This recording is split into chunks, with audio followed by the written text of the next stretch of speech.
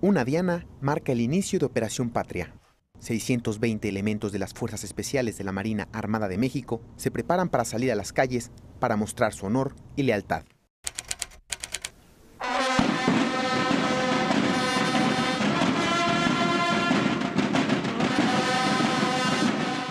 Una misión más que se debe cumplir, en el mar, en el aire o en tierra. Vamos a echarle ganas, vamos a hacer las cosas como sabemos hacerlas. No bien, vamos a hacerlas excelente. Por ustedes y por su familia, hip hip. ¡Hurra! Hip hip. ¡Hurra! Hip hip. ¡Hurra! ¡Hurra! ¡Hurra! Muy bien, jóvenes, llegó la hora. Excelente día para todos y buen trabajo.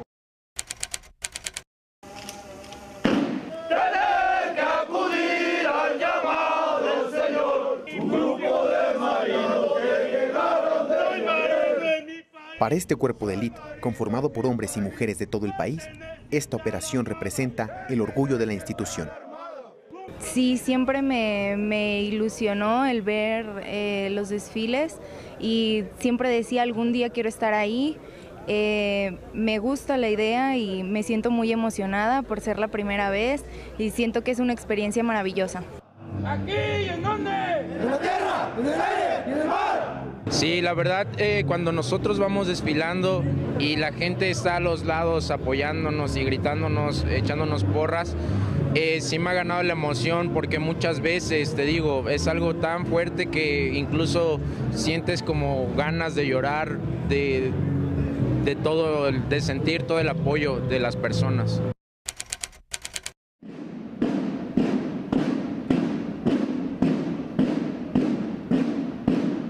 Aunque cada año hay más de 12.000 solicitudes para reclutarse en sus filas, solo dos batallones y seis compañías pueden desfilar. Yo creo que lo que más nos distingue al ver a cada una de las personas que están aquí uniformados como infantes de Marina es el orgullo y el honor de pertenecer a esta institución y sobre todo de tratar de hacer las cosas lo mejor posible y siempre por pues por el bien de nuestra nación y nuestro pueblo mexicano.